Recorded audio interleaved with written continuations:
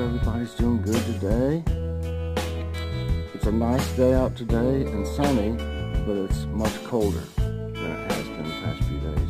It was like in the 60s and higher, uh, you know, upper 60s, I think it was.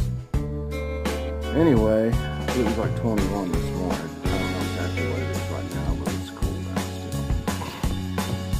still. Okay, now our prayer request today. Uh, remember Michael Murphy had surgery on his esophagus. And uh, Teresa's husband, Zach, needs prayers. And Norma Ford needs continued prayers. And uh, Jennifer has unspoken prayer requests. And Tumbleweed's daughter, Sarah, um, prayers that her meds work and where they change around and good test results. And, and Angela Garcia asked for continued prayers also. Dear Heavenly Father, I'm going to pray for each and every one on the prayer list today hope that they all get better.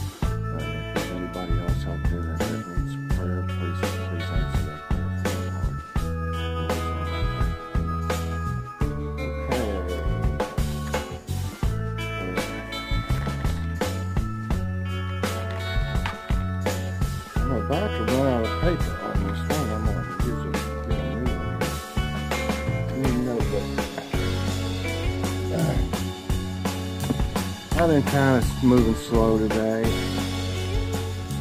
Stomach was bothering me until uh, an hour or so ago.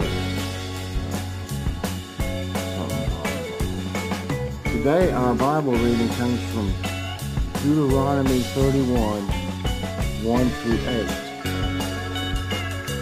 8. Then Moses went out and spoke these words to all Israel I am now 120 years old, and I am no longer able to lead you. The Lord said to me, You shall not cross the Jordan.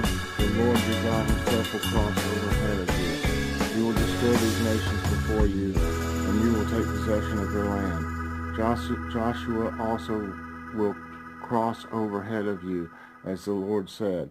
And the Lord will go to them, will do to them what he did to Sihon and Og, the kings of the Amorites, whom he destroyed along with their land. The Lord will deliver them to you, and you must do to them what, all that I have commanded you. Be strong and courageous. Do not be afraid or terrified because of them. For the Lord your God goes with you. He will never leave you nor forsake you. Then Moses summoned Joshua and said to him in the presence of all Israel, Be strong and courageous, for you must go with these, this people into the land that the Lord swore to their ancestors to give them, and you must divide it among them as their inheritance. The Lord himself goes before you and will be with you. He will never leave you nor forsake you. Do not be afraid. Do not be discouraged. Amen. This. There we go. Okay, our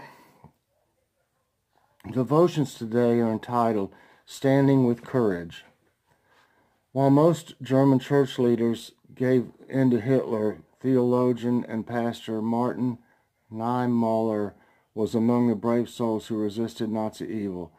I read a story describing how in the 1970s a group of older Germans stood outside a large hotel while what appeared to be a younger man bustled about with the group's luggage. Someone asked who the group was. German pastors came the answer, and the younger man, that's Martin Niemöller. He's 80, but he has stayed young because he is unafraid. Niemöller wasn't able to resist fear because he possessed some superhuman anti-fear gene, but because of God's grace. In fact, he had once held anti-Semitic views, but he had rep- repented and God restored him and helped him speak and live out the truth.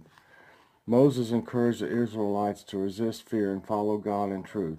When they, they'd become fearful after learning Moses would soon be taken from them, the leader had an unflinching word for them. Be strong and courageous. Do not be afraid or terrified, for the Lord your God goes with you. There was no reason to tremble before an uncertain future because of one reason. God was with them. Whatever darkness looms for you, whatever terrors bombard you, God is there is with you. By God's mercy, may you face your fears with the knowledge that God will never leave you nor forsake you. Amen. Amen. Oh. Okay, now let's see if we can. Uh, felt like taking a nap early. I just started kind of nodding off, watching TV and getting things ready. But if I take a nap, it seems like when I wake back up, it's like I can never get get with it after that or something. So I just stay awake. What has eight? What has? excuse me. I still got some congestion going on. What has 18 legs and catches flies? A baseball team. I got it. I got it. uh, what's black, red, black, red, black, red? A zebra with a sunburn. I am a master of fast calculations. Okay, what is 758 times 642 divided by 5? 22. Ha ha, that's wrong. Might be, but it was fast. One morning, my wife asked our four-year-old son, Judd, what he wanted for breakfast. Soup, he said. Son, we don't eat soup for breakfast. We eat soup for lunch. So what would you like for breakfast? Lunch, he replied. Yeah. well, there's a lot worse things that he could eat besides soup. Let's put it that way. Okay. Yeah, a bowl of soup's a lot better for you than a bowl of uh, Froot Loops. okay. Uh, where am I at? Okay. Three seniors are out for a stroll. One of them remarks, uh, it's windy. Another replies, uh, no way, it's Thursday. The last one says, me too, let's have a soda. Ooh, how'd they even get that far? Okay, knock knock, who's there? The electrician. The electrician who? The electrician who you, you called earlier. I understand you've been having some problems with your doorbell. uh.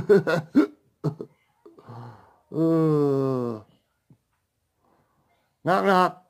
Who's there? Terrible English teacher. Terrible English teacher who? It's whom? How many people can fit in a beach? thousands and thousands.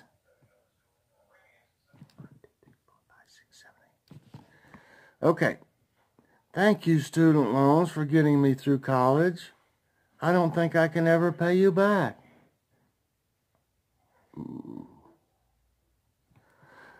Mm. Oh, the first joke about the uh, the baseball team was Joy's joke of the day. And this is last joke of the day.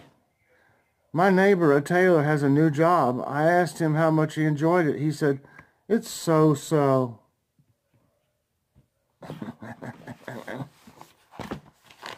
so-so.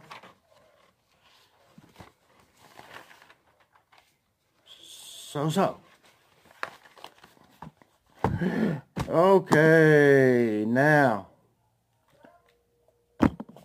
everyone. It is time for Who is this?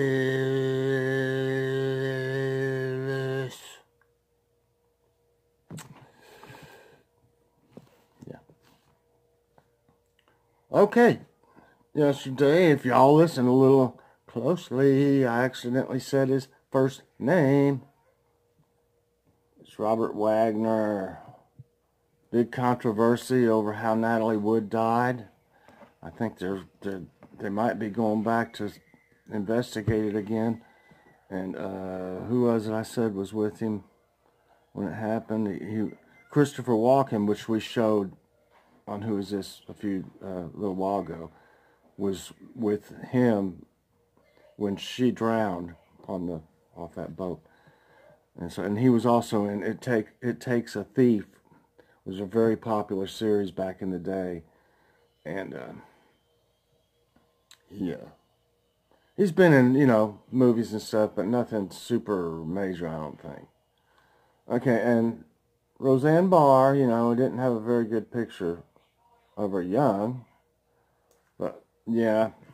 What do y'all think about the new series? It's not the same, really, is it? You know? It's just not the same. But, you know, there's a big mess. So, you know how these... They got to do what they got to do, I guess. But I don't think it's quite the same. It's still pretty funny, though. But it, it, it's totally different to me in a way. Okay, now I'm going to show you some. I don't know how it got all the way down there, but um, and guess in the comments who you think this is, and I'll show the grown-up version tomorrow. This one here, obviously uh, Joy couldn't find a young picture, I mean, you know, a, a childhood picture of this first one, but it's a young picture of him in his show. And then I can show you an older picture of him in the same show. But anyway, y'all know what I'm talking about here in a minute. He was Daniel Boone in the TV series. Daniel Boone was a man. Yes, a big man. Yeah. Watched every one of them. I watched every one of them, I bet five times. But that was early in the show. You notice how his hat looks? Yeah. That is as young as, as we could find. There may be one somewhere out there floating around, but... And this one... No way. Wait a minute. Okay, I got. I was looking at the wrong one. I said, that can't be her. Okay, here we go. This one here she uh, is a famous singer, and she's the daughter of Judy Garland.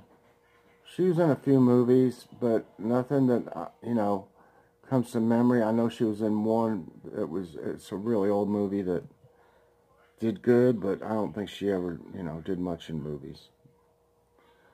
Okay, so, guess who it is in the comments. Okay, now. And now it's tablet time. Tablet time. Okay. Let me see what's up here. Okay, I showed that. I remember that. Ah, ha, ha, ha. I remember that. And I remember that. Oh, okay. Last night we had the Nathan's hot dogs, and you know I showed you those um, Hawaiian hot dog buns. We had some, just like the can of chili sauce. I think this one was from Food Lion, but we don't shop there much. We've had it for a while, but we used it. And tater tots. And this is French onion dip with cucumbers. And there's some avocado under there too. But the Nathan's beef hot dogs, I had Nathan the I had some of that chili sauce and mustard, and we didn't have any. I can't eat fresh onions anyway that are raw, but we had some of the dehydrated ones that are real little, kind of like the ones that's on the McDonald's burgers. You know, the regular cheeseburger or whatever, regular hamburger. And they're, you, they're dehydrated and you just put some water in them and let them rehydrate some. And they're so small I was able to put some of them on there. But they're not quite the same, you know, as, a, as regular onion, which I miss badly, but I can't eat it. And the French onion dip there was really good with, uh, that was from Aldi, only 99 cents for a tub of it. And the, those were the tater tots we got from Walmart. And I put some Hidden Valley seasoning on the tater tots. And they were really good. And that way I didn't have to, you know, they're, normally I might put some salt on them or something, but they are already a little bit salty, so I didn't put any salt on them, just that Hidden Valley stuff, and it was really good. Then this morning, uh, Joy fixed some, excuse me, I showed y'all the biscuits from Walmart in the, in the hall the other day, and we hadn't tried any of them in a long time because they're uh, they're cheaper at Aldi. They're only 99 cents, and I think they were $1.38 for the canned biscuits at at Walmart. And she fixed some today and with and made a sausage, egg, and cheese biscuit for me, and fixed Logan one too.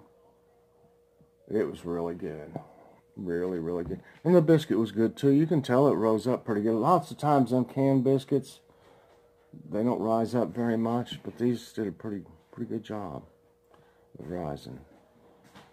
Uh,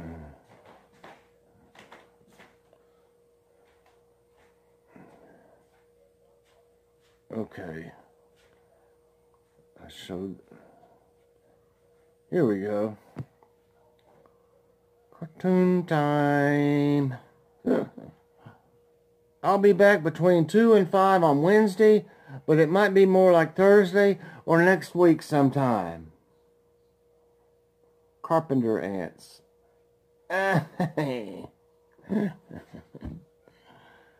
no, this is funny too. I started off small, kids.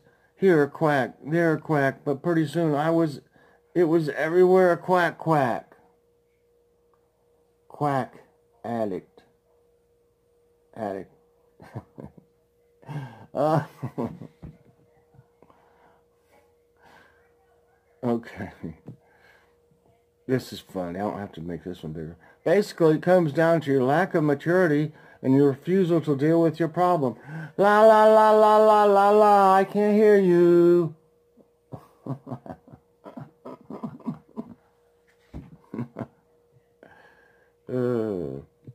let's see. I think we got a bonus one or something today. Let's have to make bigger. Grandpa, if you had period after, uh, a period after you text something, it comes across as aggressive. Oh, in our day, we used to put a period after every sentence. We called it good grammar. Don't listen to your grandpa. He sometimes says crazy things. I think this next one, I'm sure. No, it's not that one, but there's another one that kind of goes with it.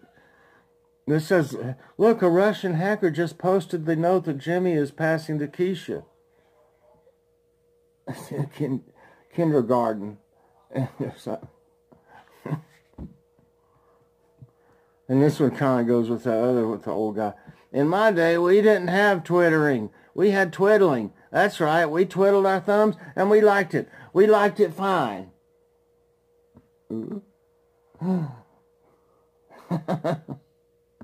oh, gosh.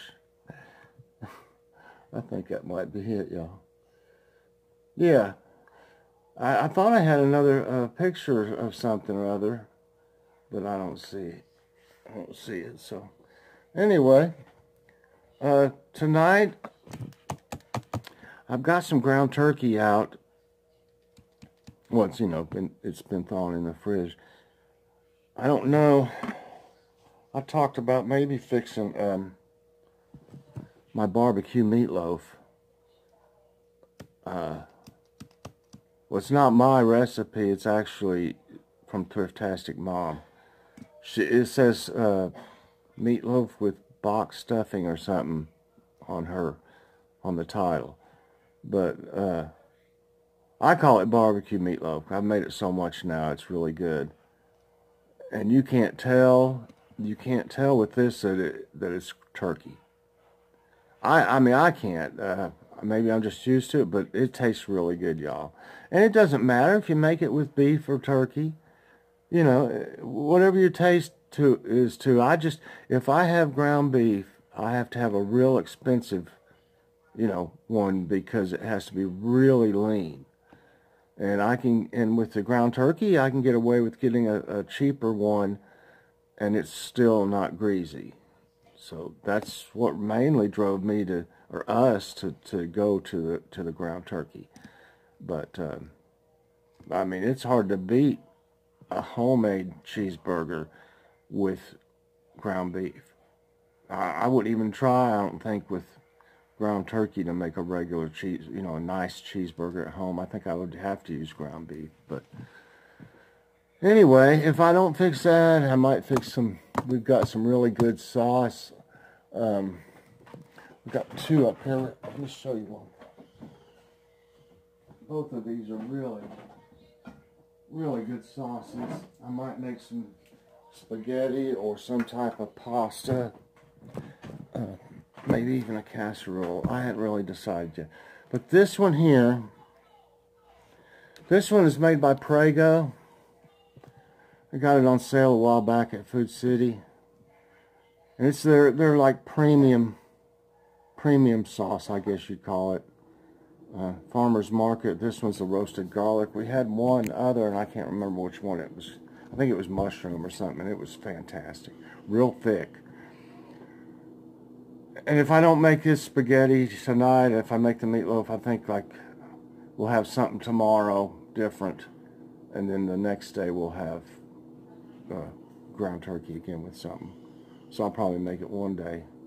And here's the other one. This one is, uh, it must, it's the traditional, but it's Classico family favorites.